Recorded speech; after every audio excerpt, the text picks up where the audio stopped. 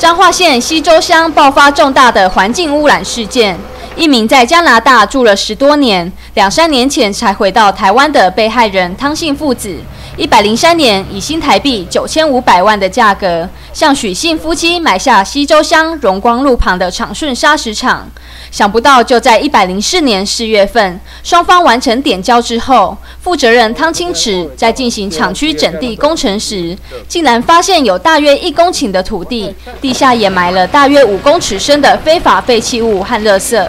他立刻联络原地主前来处理，想不到原来的负责人许敬旺、许王宝随夫妻就此避不见面。他气愤地说：“他被骗得很惨。”因的厂长嘛，甲我讲，我交场交咱厂长甲我讲，伊的厂长伫遐甲服务二十几年啊，甲伊讲，甲我讲，即内底拢地拢乌掉去啊，啊啊啊！伫咧北平遐有大粪扫，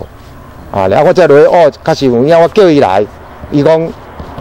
这你家去处理啦，哦。针对这一起环保事件。当初介绍土地买卖的林姓中介，跟原本长顺砂石厂的厂长都出面表示，这一批大约有五万立方米的垃圾，是原地主许进旺、许王宝水夫妻陆陆续续掩埋的。但是记者打电话向许姓夫妻求证时，他们却回应这些垃圾是汤姓父子自己掩埋的。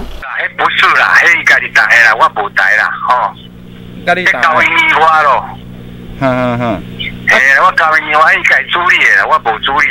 许姓夫妻甚至还因为长顺砂石厂负责人汤清池以扣住他的买卖尾款为理由，向法院申请查封。汤清池也立刻向彰化地检署对这对夫妻提出诈欺跟违反废弃物管理法告诉。甲伊讲就对啦，伊讲要告去告安尼啦，哦，啊不甲伊处理无可能啦，啊伊才用我两千五百万的本票甲我查封。系，好啊！规个财产拢全部财产拢甲我查封啦，恶质啊做恶质的对啊，啊拢骗了对，因个骗的对啊。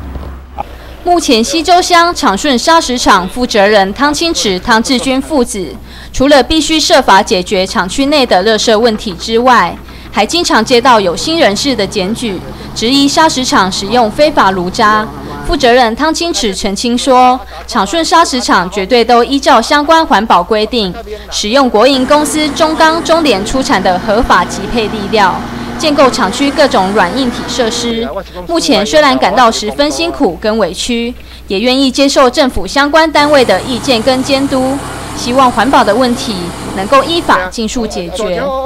记者林永秋、刘淑平彰化报道。